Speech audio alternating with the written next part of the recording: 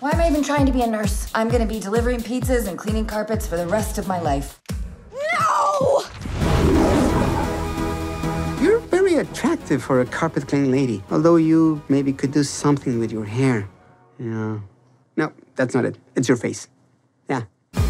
When Bonitsa Dakari! Could you be a doll and get me a little snack? You know I was just hired to do carpets, right? You're fired. I bet you haven't worked a single day in your entire self-absorbed life. My equipment! He is the devil. I owe the cleaning company 3,000 bucks and they fired me. Rich people, they get away with everything.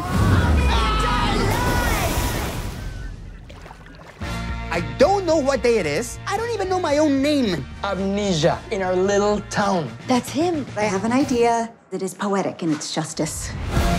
I'm here to pick up my husband. You're really my wife? For better or worse, baby. I'm poor? Yep. How come they don't look like me? We had to use a sperm donor. I'm sterile. What do I do for a living?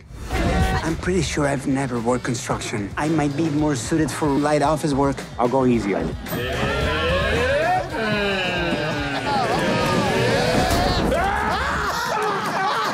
Hi, honey. How was your first day? And I said, what?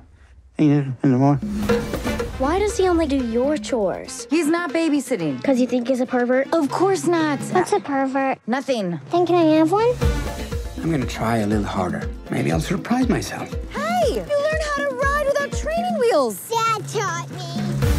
He has paid his debt. I have tortured him long enough. You're telling a ditch digger he's a billionaire. Pretty sure he's gonna be okay with it. I like having your dad around. We want to keep him. You guys are good together.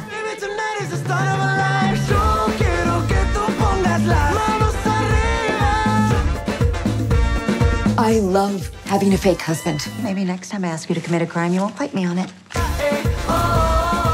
Can I get you to haul the dirt on the other side of the house? No speak English. Sorry. I will talk to Bobby. See, Bobby. I love doing that.